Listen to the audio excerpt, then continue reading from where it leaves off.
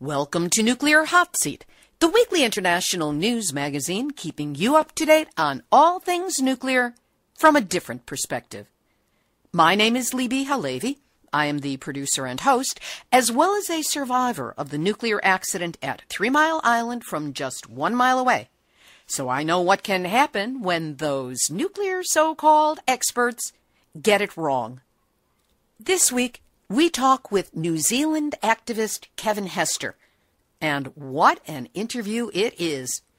Kevin gives his eyewitness report of watching the Greenpeace ship Rainbow Warrior after it was bombed and sunk in Auckland, New Zealand, killing one who was a friend of his. He talks about the direct link between climate change and nuclear. And we discuss what it takes to move to nuclear free New Zealand. You will get both a laugh and a chill out of the way he answers. Plus, our regular numbnuts of the week, nuclear reactor duck and cover report, activist shoutouts, and more nuclear information than James Hansen wants COP21 to know. All of this coming up in just a few moments. Today is Tuesday, December 8, 2015, and here is the week's nuclear news from our perspective. The big news this week is the blatant way in which Bill Gates and a bunch of billionaires have been working on overdrive to convince the world that nuclear is the savior of climate change, which it is not. At the start of the COP21 climate talks, Gates unveiled his Breakthrough Energy Coalition, which includes pro nuke billionaires Jeff Bezos of Amazon and Richard Branson of Virgin. These pseudo greenies say that they're going to be offering money to needy countries to put in sustainable energy sources as long as those quote unquote sustainable sources include nuclear. The only thing that's sustainable of which is the waste, which lasts forever. We'll have more on COP21 during our featured interview today and during the final thought. Here in the U.S., on Saturday, December 5th, there was an emergency shutdown at the Indian Point nuclear reactor, only 35 miles from Midtown Manhattan, after 10 control rods accidentally fell into the reactor core. Oops! According to the NRC, their own words, it was caused by a smoldering incident in the motor control center that supplies power to the rod control system. This is being monitored by an on site fire brigade. According to a Westinghouse patent, the wording of which was dug up by ENEnews.com, a dropped rod will initially result in a reduction in the total power generated by the core. The reactor will then attempt to meet the load by increasing power in the remainder of the core, which could lead to local overheating elsewhere in the core. But of course, Nuclear Regulatory Commission spokesmodel and apologist Neil Sheehan said, no, immediate concerns were identified. Yeah, Neil, define immediate. There will be a demonstration to help shut down Indian Point on Saturday, December 12. To learn the details, contact Gary Shaw at Croton Shaw, C R O T like Tom, O N like Nancy, Shaw at AOL.com. In Colorado, an estimated 1,800 gallons of radioactive material leaked from Cotter Corporation's uranium mill near Cañon City, 115 miles south of Denver. There have been seven reports of similar spills at the mill over the past several years. In February of 2015, a broken pipe caused 20,000 gallons of uranium waste to leak. The mill is a Superfund site, but residents say it's not getting cleaned up fast enough. Where have we heard that one before? In a preview of what the people of North St. Louis, who are trying to get that radioactive waste cleaned up from the Westlake landfill, after 71 years, the federal government has decided that all nuclear waste from the World War II atomic bomb project should be removed from Lewiston, New York, a town that lies between the Erie and Ontario Great Lakes. The Army Corps of Engineers FUSRAP program is in charge, but does not expect the $490 million required for removal of the waste to be available until 2022. Good news for those who worked at Rocky Flats, some 25 miles from Denver. If they have cancer, they no longer have to prove that it was work related. It's just going to be assumed. Covered diseases include multiple myeloma and cancers of the brain, breast, colon, thyroid, and liver, among others. A Pyrrhic victory at best.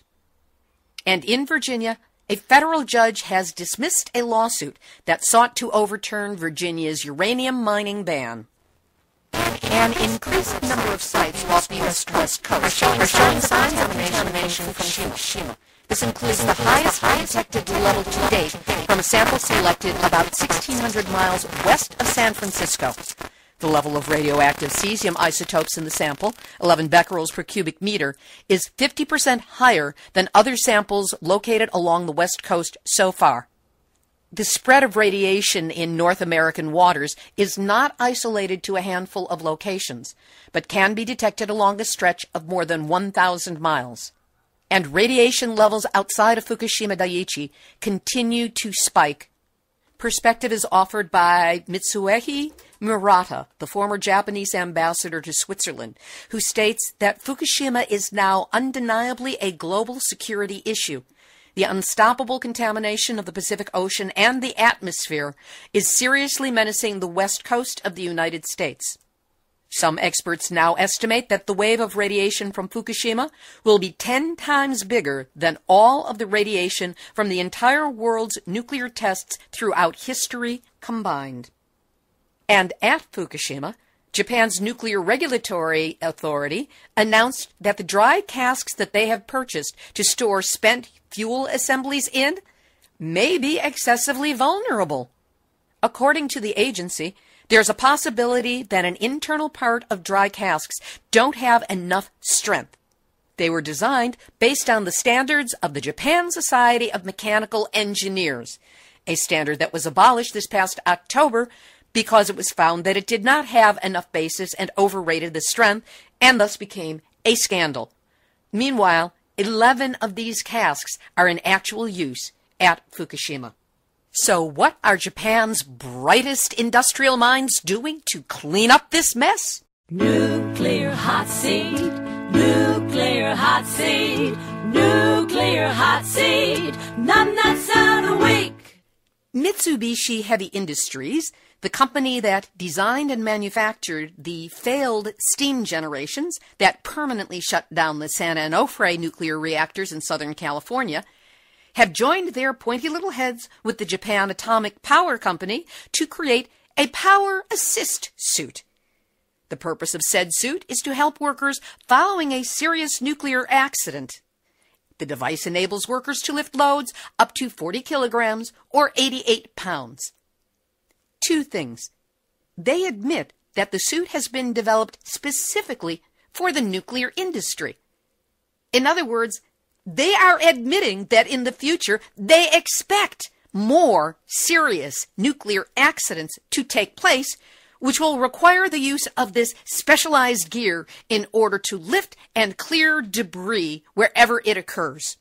So they're admitting it. Here's the other thing. The device enables workers to lift loads up to 40 kilograms. You know how much the device weighs? 39 kilograms. That's right. The workers are going to be schlepping around this thing on their backs that weighs 86 pounds in order to lift debris that weighs 88 pounds. Don't you just love the thinking of the nuclear industry?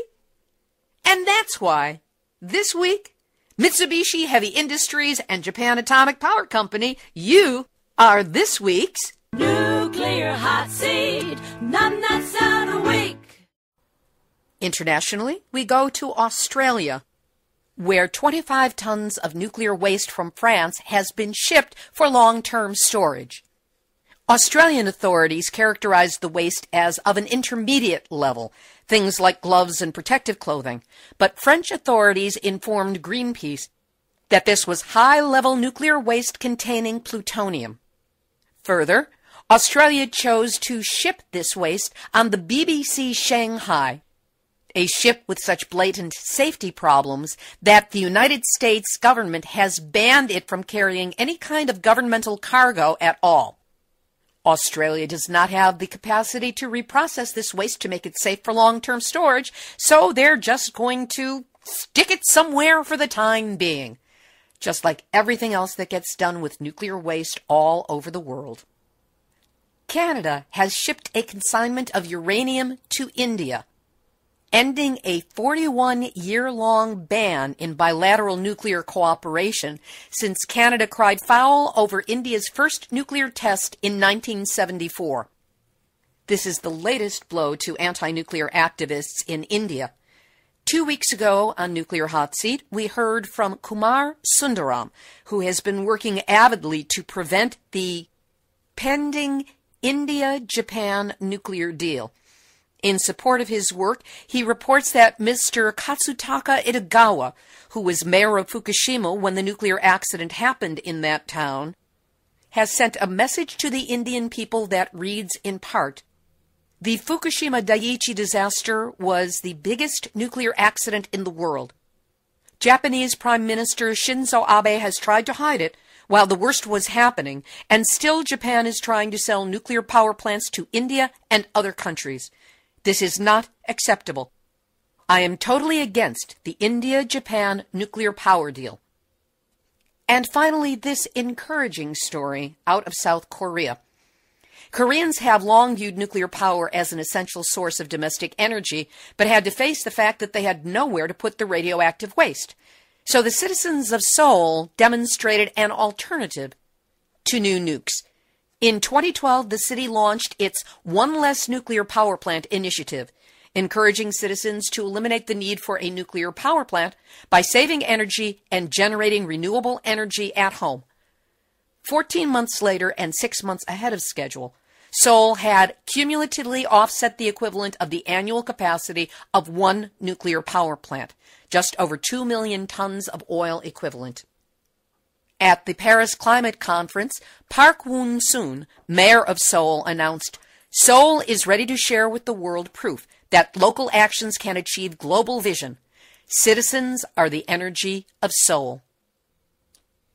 We'll have our featured interview in just a moment, but first, Merry Krista Kwanzaa Solstice Ramamas. It's the holiday time of year. Chana Krista, well, whatever belief you have or don't have. This time of year, you're probably thinking about where to make a year-end donation to something you would like to support. Well, here we are. If you care about honest, vetted information on nuclear issues, make Nuclear Hot Seat one recipient of your holiday giving.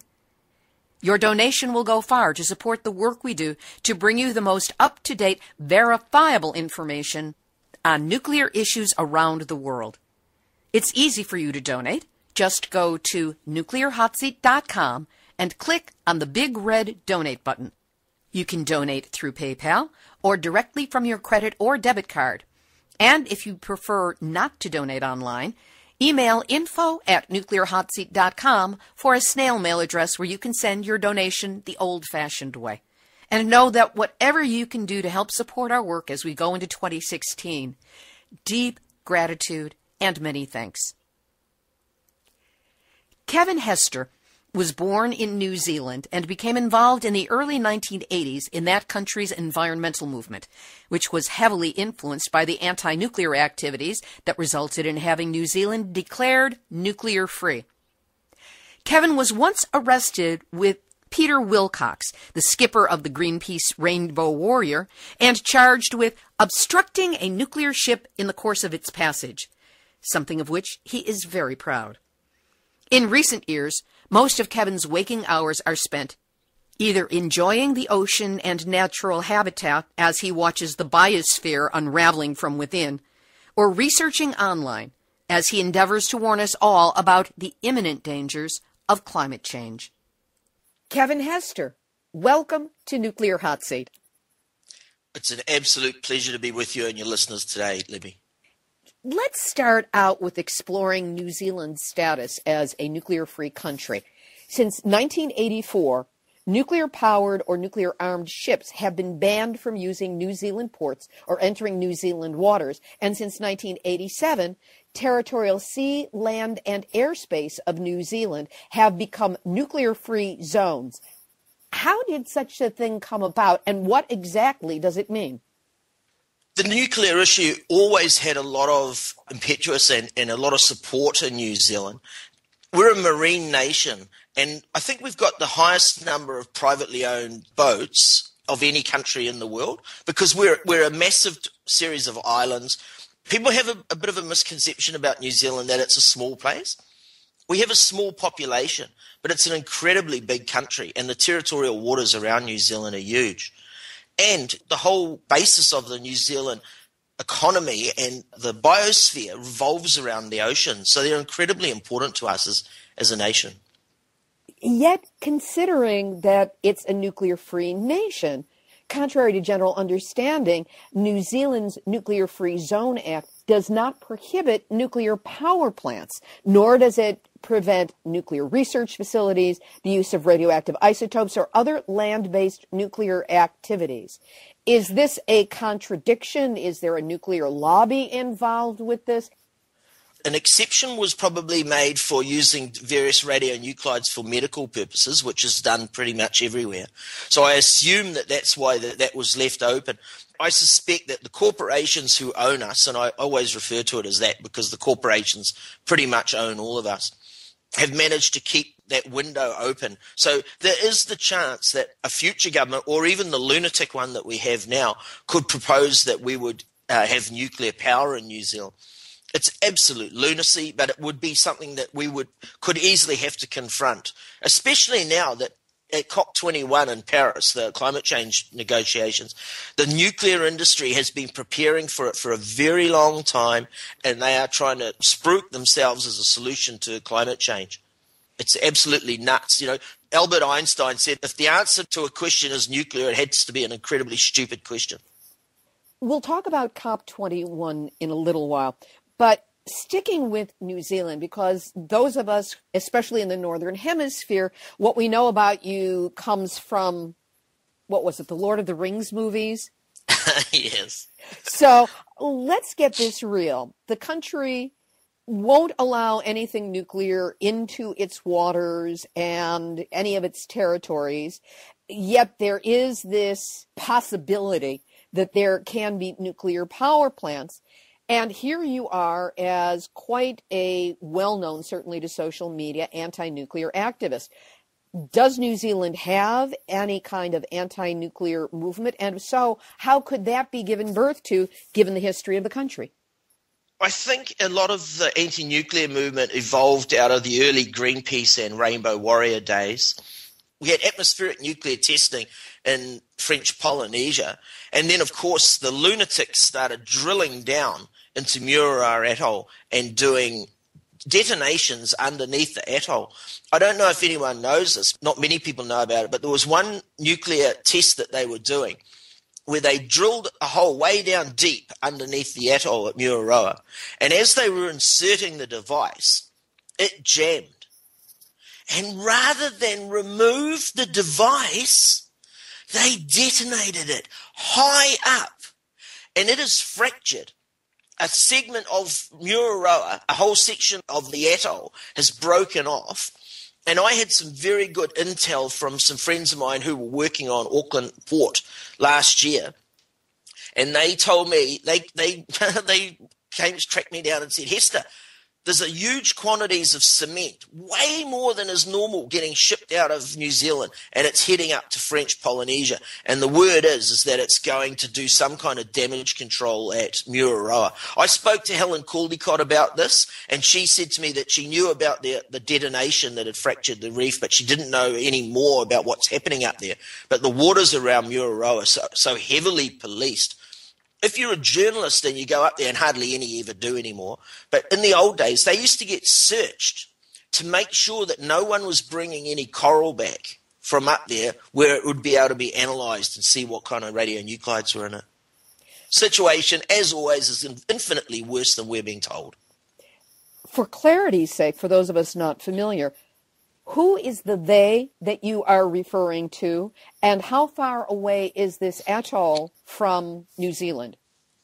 The they that I talk about is the military industrial complex. One thing I'd really like to emphasize about nuclear power is that nuclear power is a byproduct of the nuclear weapons industry.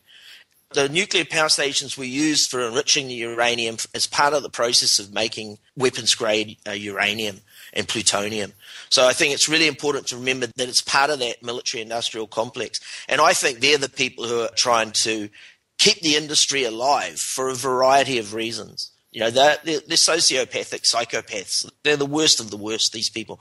But Mururoa is a very long way away from New Zealand. It's not an immediate threat to us because it's in the northern hemisphere and the ocean currents don't circulate to the south in the same way. But obviously, anything that goes into the Pacific is an extremely bad situation for all of us. If people have an ecological movement association with New Zealand, it's usually the fact that the Greenpeace ship, the Rainbow Warrior, was bombed while it was in New Zealand. This is back in 1985. And that photographer Fernando Pereira was killed while on board. What can you tell us about what led up to the Rainbow Warrior bombing and what happened after that? I stood on the wharf the night that the rainbow was blown up. And I stood and cried, watching her hanging on the side of the wharf drowning and knowing that Fernando was down below and, and had been murdered. And it's really important to remember that Fernando was murdered. The French have tried to, to say that it was they had never meant to hurt anyone, but there were two bombs exploded on the hull of the Warrior that night, a large one and a smaller one, and they were timed. There was a few minutes between when one bomb went off and when the other went off, and after the first bombing, Fernando went down below to his cabin to rescue his photographic equipment because he was the photographer on the Warrior. And uh, the second bomb detonated. It killed or knocked him out, and I think it knocked him out, and Fernando drowned. But a really important detail that's much understated about the situation was that Walter Lini, who was the Prime Minister of Vanuatu, he had sent down a government representative who was traveling on the Warrior at the time. His name was Charles Rara. And Charles had a diplomatic passport. And a lot of us believe that it was an assassination attempt on Charles.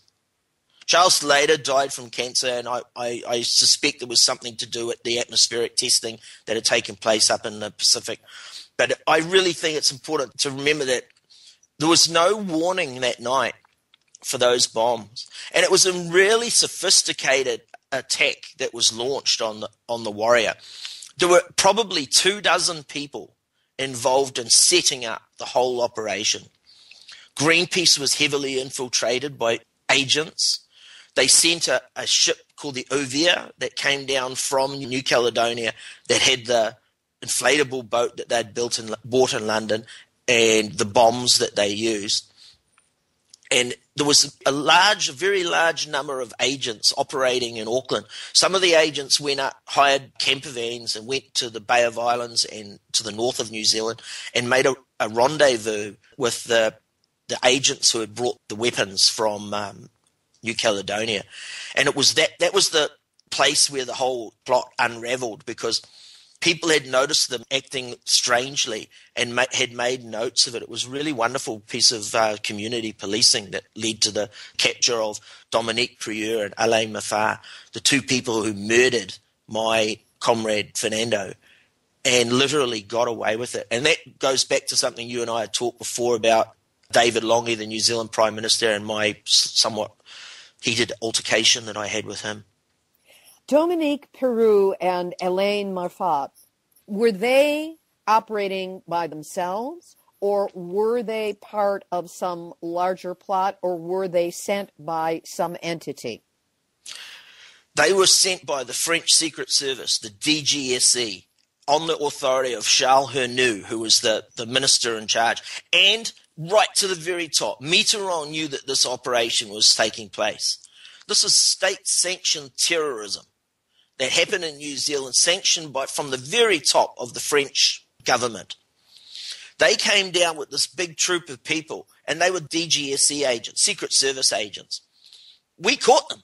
It was incredible. We caught them. But what happened after that is that an enormous amount of pressure was put on David Lange, the New Zealand Prime Minister, uh, to free those two agents. David Lange was the Prime Minister, and my mother was David's electorate secretary. So he, she looked after his office in his little electorate, or in his electorate in Auckland. And David was a regular visitor at our house. And I went round there only a few days after he had allowed Dominique Prieur and Alain Mafart, who had been sentenced to 10 years, I think, in jail in New Zealand. He gave them a pardon and let them go. And they went to Hao Atoll, another French Polynesian island, paradise. Instead of doing time for murdering Fernando in a New Zealand jail, they were on a, a beautiful paradise island in the Pacific, where Dominique Prieur succeeded in getting herself pregnant very quickly. So it was all very convenient. And I went around to mum and dad's and I saw David there and I got talking and I was young and angry and felt that we'd really been really hard done by that these two murderers, terrorist murderers that we'd convicted in a court of law were going to be freed. And David said to me, and I remember him pointing his fingers to Paul, and he said, Kevin, the French have a gun to our heads and they've already proven they will pull the trigger. We have to let them go or they will crash our economy. And that's what the French had said. They would stop all of our dairy products and, and meat and, uh, being imported into France and into the European community. So it was it was state terrorism and then a threat of state sanctions against us for convicting their terrorists. That falls into alignment with a story a friend of mine from New Zealand told me that when New Zealand first went nuclear free, a United States Navy ship was attempting to dock in the country and was turned away because it was nuclear powered. And the U.S. did not take kindly to this because New Zealand was this little pipsqueak country standing up to the mighty United States. So what they did was they put a 500% tariff on lamb, which remains to this day, which is why two small lamb chops from New Zealand cost about $20. It's clean, but it's expensive. And that was their form of retaliation at a very low level.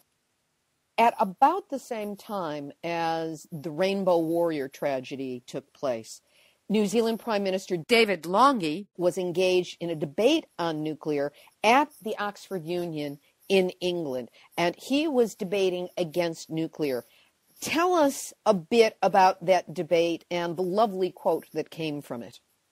It was really, really quite wonderful. David was a, a real orator. He was a solicitor by profession, and he was a really wonderful speaker. And he leaned forward and he said, And I'm going to give it to you. If you hold your breath just for a moment, I can smell the uranium on it as you lean towards me.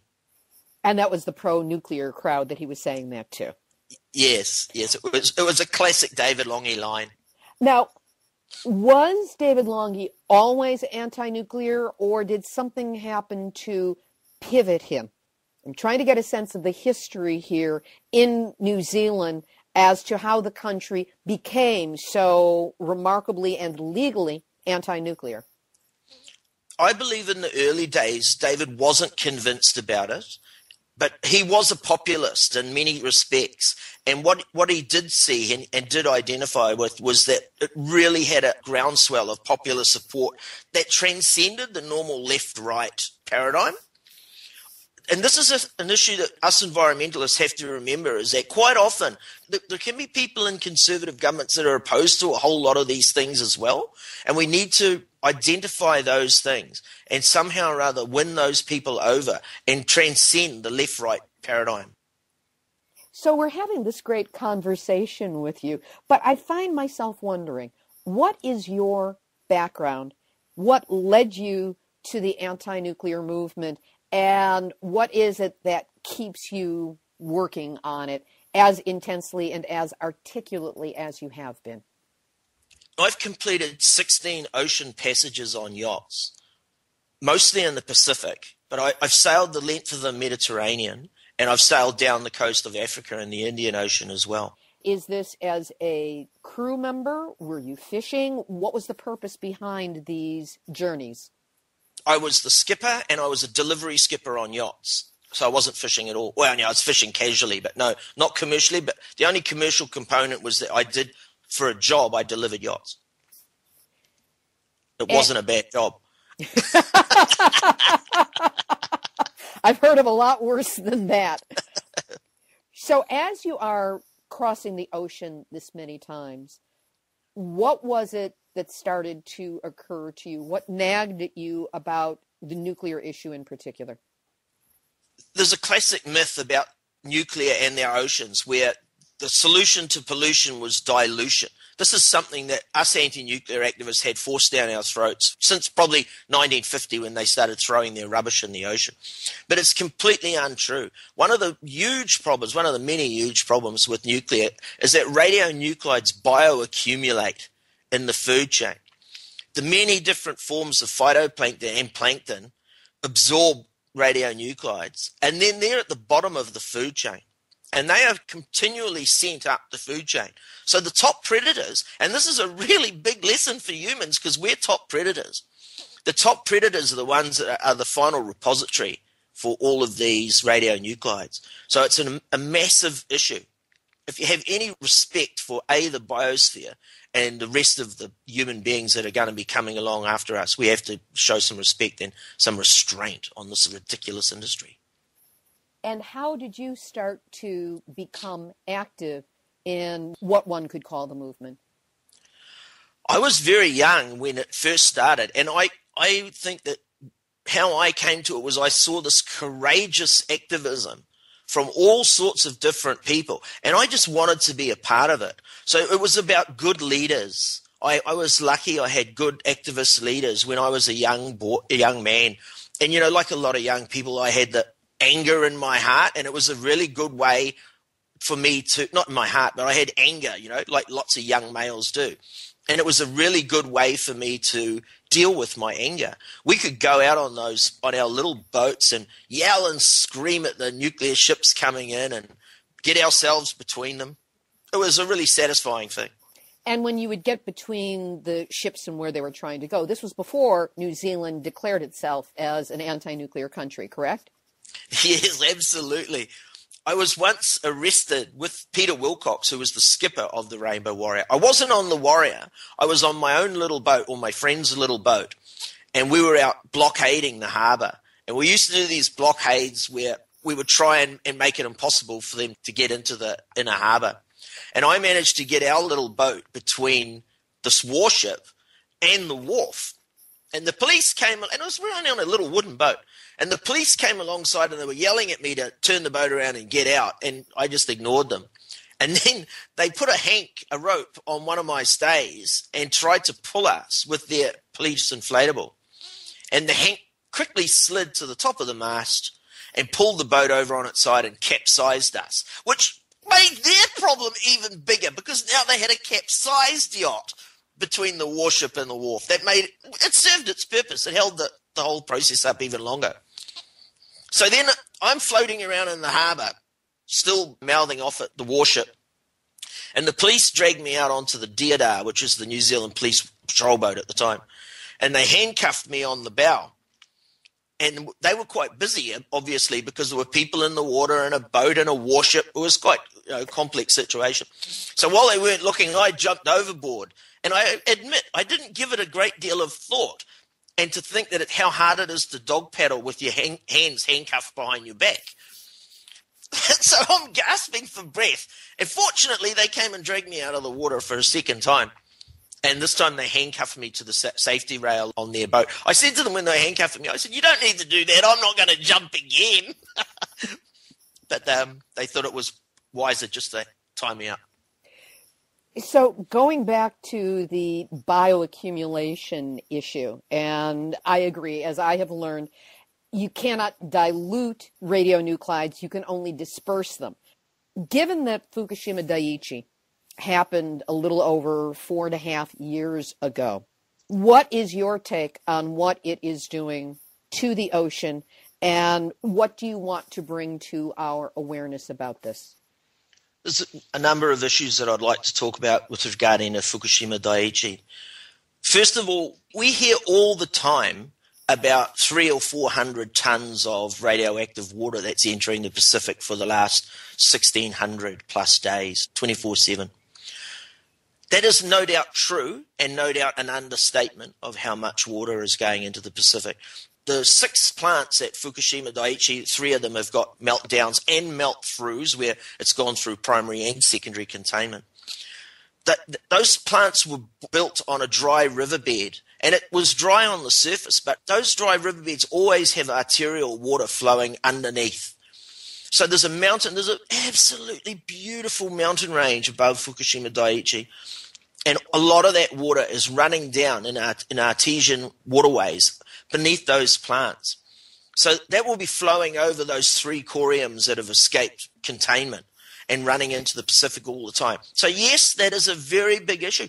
But there is a bigger issue than that that no one talks about. There are three coriums, what used to be called cores, but until they melt down, they become a corium.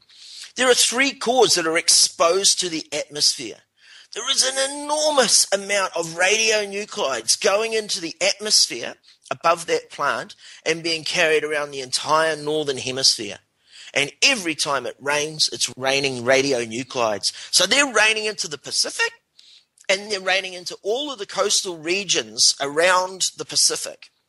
For your listeners, I really like them to always remember that don't just think about the water, even though the water is critically important. There is more radionuclides probably going into the atmosphere than going into the Pacific. This brings us to COP21, the climate change summit that's taking place as we speak in Paris. I've talked about this elsewhere in the program, but what do you think about the current propaganda campaign at COP21 that's trying to turn the disaster that is nuclear into the savior of the climate change catastrophe? It's a classic indication of how dystopian our lifestyles have become when we're in such deep and utter trouble with abrupt climate change that they're looking for a lunatic solution like nuclear power. And it really does show how far these nutcases will go to sell their business model. The fact that they think that they can sell nuclear to us as a solution to climate change shows how arrogant they are and the hubris of these people. It's extraordinary. It has struck me as a brilliant piece of evil social engineering how well they have planted their stories, planted their propaganda, even placed people in climate marches literally around the globe, all of them wearing very preppy, neat clothing and having very neatly printed out signs dealing with, oh, nuclear is really the answer. And the propaganda keeps growing to the point where most of the news stories that I've heard that acknowledge nuclear at all in connection with COP21 is talking about the fact, well, we really do have to think about this, as opposed to saying, no, the story is the propaganda campaign that has been planned out with talking points and is well funded and well greased that is trying to convince the world to act in its own worst interests. Absolutely.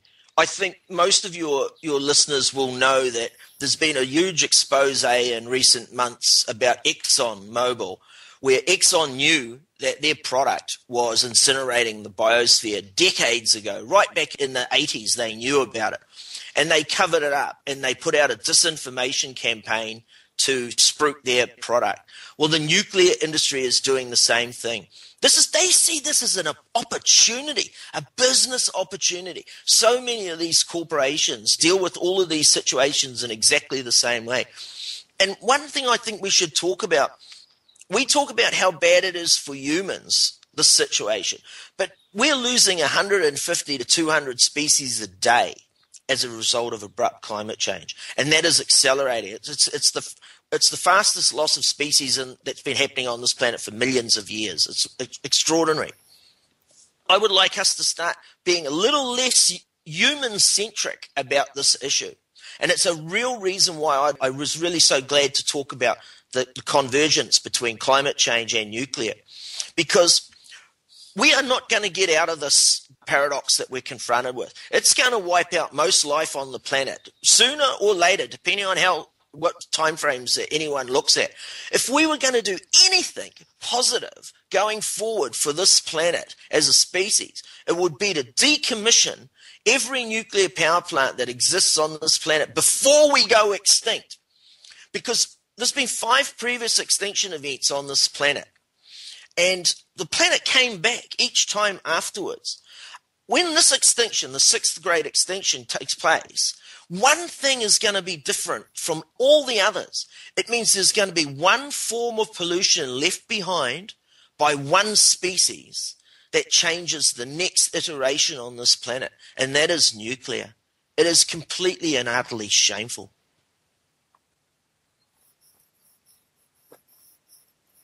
What do I ask after that? Uh, you're very good. That was that was that was good. So, with your awareness, your background, your self education on all of this, where do you see the best place to put your activism moving forward?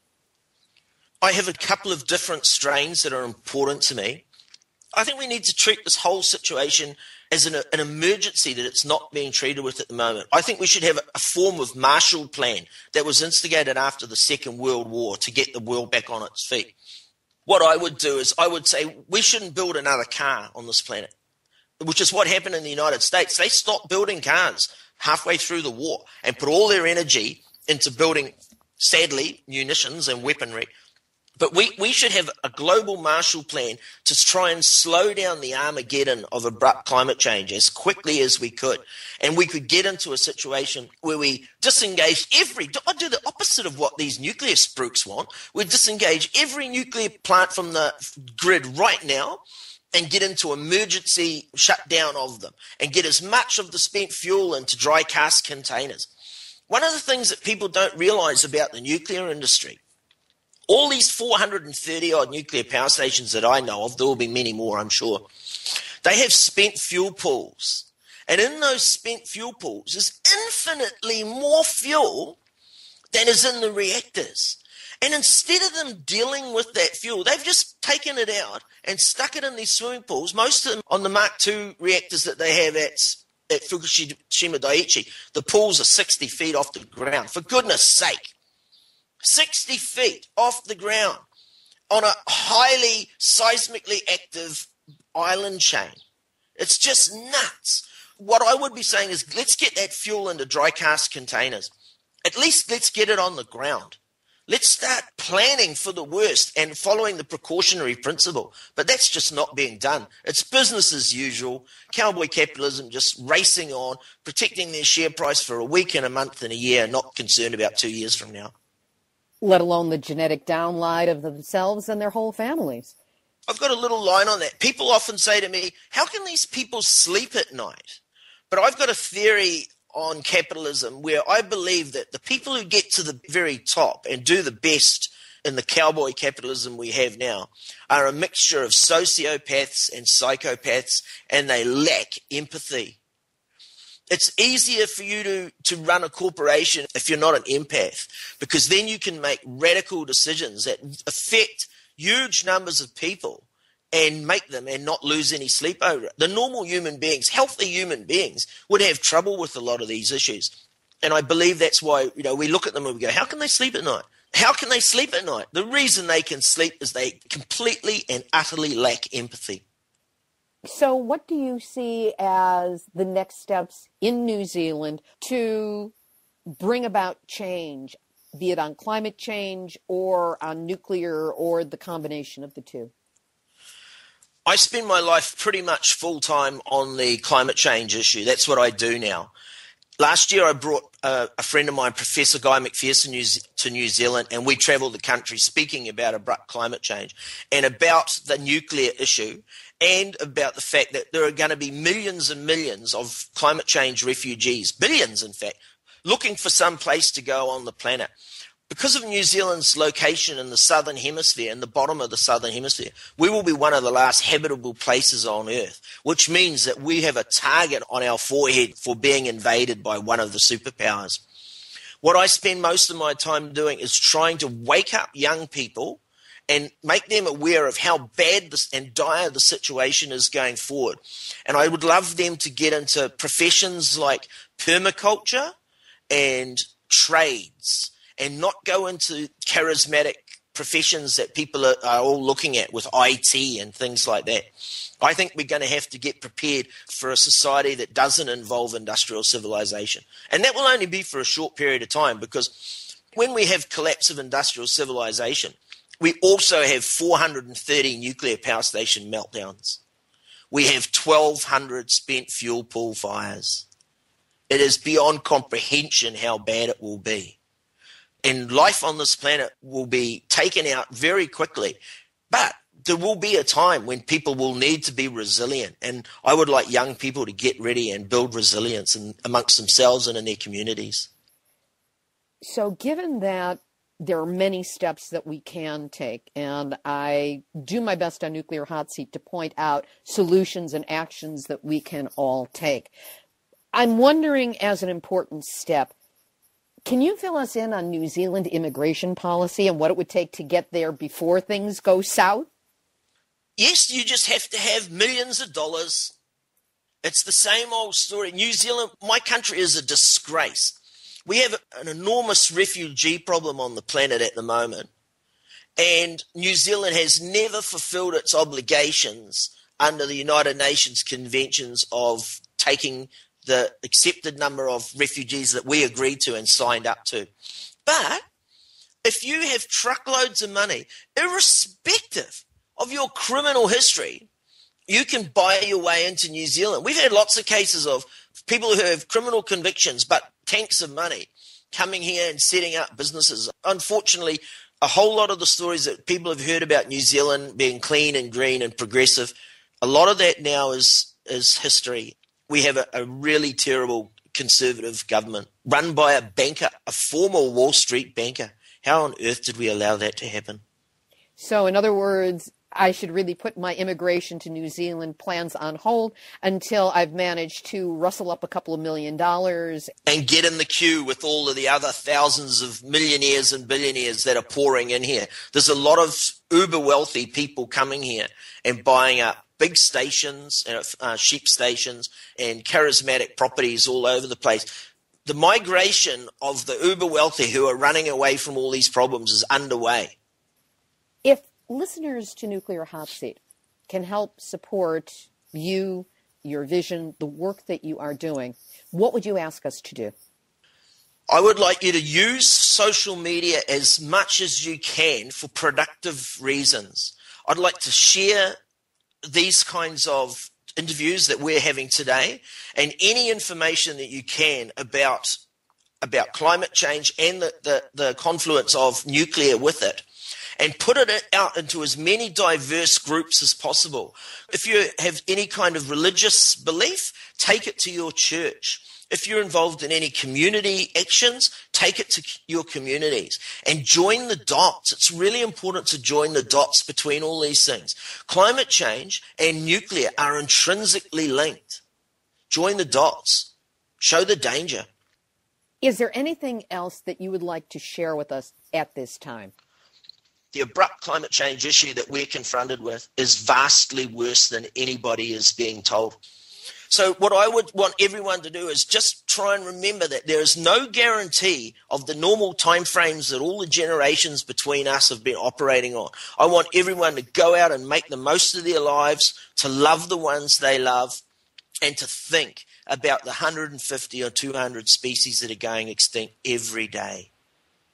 Kevin, You've always struck me as a profound thinker when I have read your posts online on the various nuclear sites. And we've been pursuing this for a while to get you on the show. You've given us a lot to think about. And I want to thank you so much for being my guest this week on Nuclear Hot Seat. It's been my absolute pleasure to be here. That was New Zealand climate change and anti nuclear activist Kevin Hester. Make sure you friend Kevin on Facebook to get his articulate, perceptive updates, as well as periodic infusions of what he likes to call doomer humor. Here's this week's radiation safeguarding tip from RAPT, Radiation Awareness Protection Talk. There have been reports in the past weeks of high levels of cesium contamination found in Japanese mushrooms grown near Fukushima. Mushrooms are natural bioaccumulators of radiation. It's been proposed that they might even be used in remediation efforts. But that means you don't have to be living near Fukushima to run the risk of being hit with radionuclides in your mushrooms, because that's the first food crop that will show contamination. So you might want to consider avoiding mushrooms in your diet, and especially any that come from Japan. Want more information on best practices to help safeguard from radiation? Radiation Awareness Protection Talk, or RAPT, is a six audio compilation of vetted, footnoted, verifiable information on how to best take care of yourself and your loved ones when facing a nuclear crisis. To learn more, go to raptawareness.com. That's R A P like Peter, T like Tom, awareness.com. We have a free report available for you there, more information on radiation and health, and you can just cut to the chase and get the full program. That's raptawareness.com. Activist shoutouts. It's official! The International Uranium Film Festival is coming to Hollywood in 2016. Now in its sixth year, the International Uranium Film Festival is an annual celebration honoring films tackling a difficult but globally important set of issues atomic power, radioactivity, and nuclear accidents. From Hiroshima to Fukushima, from uranium mining to nuclear waste, that's the shovel in the ground, to the pile of radioactive debris nobody knows what to do with, from Three Mile Island to Chernobyl to Fukushima to who knows where the next one's going to happen. The IUFF gives its Yellow Oscar, its top award, to Best Feature Documentary, Best Short Documentary, Best Fiction, Best Short Fiction, and Best Animation. The regular deadline for submissions is December 31st, 2015, and the final deadline is January 31st, 2016. So if your films aren't together yet, edit, edit, edit. As I said, the annual festival will take place in March this year in Los Angeles, in Hollywood, at the Egyptian Theater. It will also take place in May in Rio de Janeiro and in September in Berlin. So calling all filmmakers, submission of your films is free and you can learn more by going to uraniumfilmfestival.org. You can also join with them on Facebook.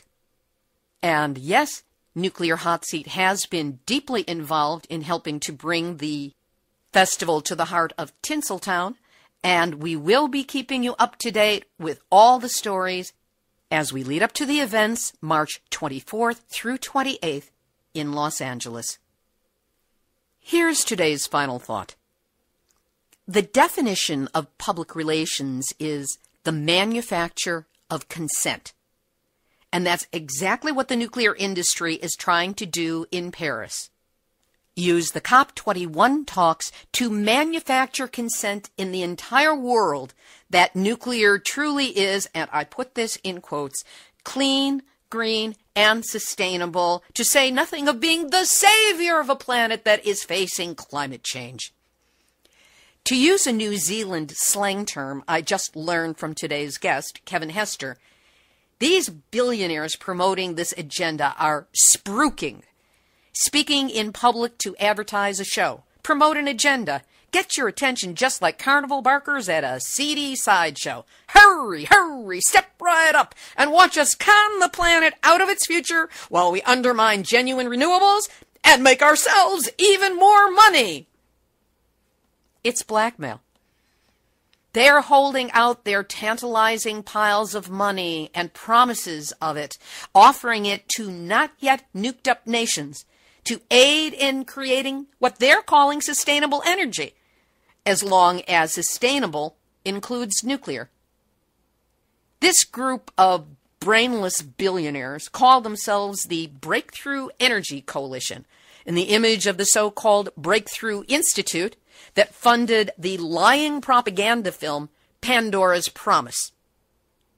But the necessary breakthroughs in solar and wind energy, as well as conservation and energy storage, have already taken place. We have alternative technology that works, that is proven, that is genuinely sustainable, and that creates change quickly. For example, today's story about Seoul, Korea. They've already removed the need for one nuclear reactor in just 14 months with this plan of action, renewables and conservation. Germany is going nuke free in much the same way. It can be done. What's lacking is the will and the leadership in high places to implement this on a massive basis. It's possible. So what's stopping the world? Again, I join with Kevin Hester in citing sociopaths, psychopaths, the empathy deficient who wave in front of third world countries the hope of joining the nuclear fraternity with reactors that generate weapons grade plutonium as part of their waste stream. I wonder what could go wrong there. I hearken back to the Greek myth of Pandora and her real promise.